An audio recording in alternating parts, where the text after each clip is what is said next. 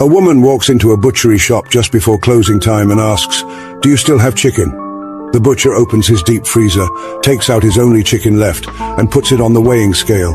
It weighs 1.5 kilograms. The woman then asked, do you have one that's a bit bigger than this one?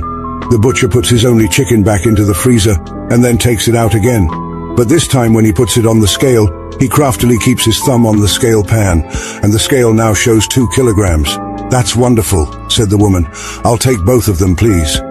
In a situation like this, you realize at once that your integrity and reputation are firmly on the line. Your wisdom becomes foolishness, and your cunningness becomes stupidity. Until now, the butcher has his head inside the freezer, looking for the first chicken. So always remember, always tell the truth, and you will be free. If you're not following me, you're probably never going to see me again. If you're, then congratulations, you're growing every day.